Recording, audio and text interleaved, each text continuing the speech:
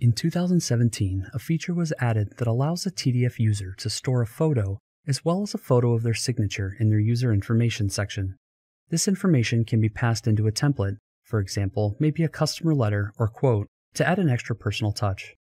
One thing to consider before uploading your image is the size of the image. You will not have the ability to resize the image when it pulls into the document, so if you have a high resolution image, it will pull into the document at maximum resolution. You will want to upload an image that is the right size for the document that you're working with. To add the photo or signature to your user information section, go to the Home tab and select User Preferences. Once the User Preferences loads, select User Info and then select the User Images tab. To upload a new signature, double-click in the white space within that section. Select the type of file you're uploading. Locate the image you want to use, and click Open. Repeat these steps for the personal photo.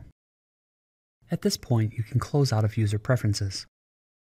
To add either of these fields to an existing template, let's go to the Other tab, Admin Utilities, Template Setup, and Template Administration.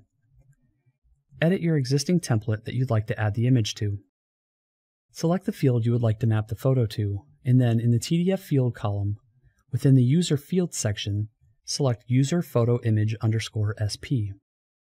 Repeat this step for the signature but instead you'll select User Signature Image underscore SP in the TDF field column. Once you've mapped your images, click Save and then close out of Template Administration. You can now test out your template by opening one of the appropriate record types, going to the Template menu, and then selecting your template. Once you give your template a name, click OK, and then a preview of your template should open up with your images embedded.